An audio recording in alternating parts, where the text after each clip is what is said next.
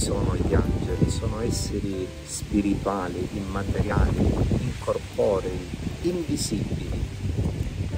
Sì, credere agli angeli sembra qualcosa da bambini, da illusi, ma io penso che non, che non sia così.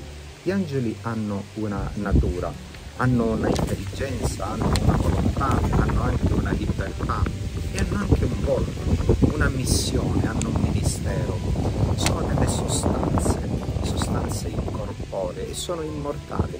Sono in sostanza, eh, scusate il gioco delle parole, degli spiriti puri, non hanno un corpo, sono però esseri personali e ogni angelo ha un nome ogni angelo ha un nome e ha una missione in base al nome, Arcangelo Gabriele, Raffaele, Michele e tanti altri angeli. Hanno un'azione verso gli uomini e verso Dio. Verso Dio eh, loro sono intermediari, sono mandati da Dio nel mondo. E verso gli uomini eh, eh, gli angeli eh, sono compagni, si affacciano, si affacciano perché non sono soltanto gli abitanti del cielo, verso Dio sono i liturghi, cantano la lode. Che bello se noi se ci fermassimo a proposito nel canto del prefazio durante la Santa Messa, gli angeli, i cherubini, i serafini, i troni, le dominazioni, li nominiamo sempre gli angeli, salgono e scendono gli angeli e lodano il Signore e aiutano anche noi a pregare. Sono esseri invisibili, ma anche la nostra anima è invisibile, noi non la vediamo. Eppure gli angeli hanno la capacità di comunicare l'intelligenza eh, angelica è una intelligenza molto fine. Eh, loro eh, ragionano per intuizione, noi invece per deduzione, la nostra intelligenza speculativa e per astrazione e loro colgono subito e direttamente. Ovviamente non sono onnipotenti perché soltanto Dio è onnipotente, hanno una volontà e una libertà che è perfetta.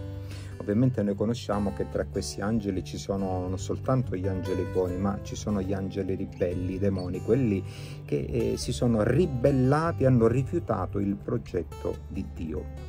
Ma la vita degli angeli, eh, la loro natura, l'essere spirituali, l'essere incorpori, immateriali, una, sono, hanno una sostanza immateriale, la loro natura è sostanzialmente agapica, cioè che significa sono eh, si donano, si donano agli uomini e a Dio e, e, questo indica, supera eh, in un certo senso, eh, supera quella capacità umana, anche l'uomo eh, è chiamato ad essere agapico e loro condividono eh, in maniera profonda eh, e totale eh, con tutti gli altri abitanti del cielo e anche con gli uomini. Magari forse questa mia riflessione ci suggerirà quando abbiamo bisogno, ma anche quando non abbiamo bisogno. La sera prima di coricarci e facciamo l'esame di coscienza, rivolgere al nostro angelo custode eh, chiedendo la luce, la luce per ringraziare, riparare eh, per quanto è possibile dove abbiamo commesso degli sbagli e ricominciare nuovamente e proteggere il nostro riposo.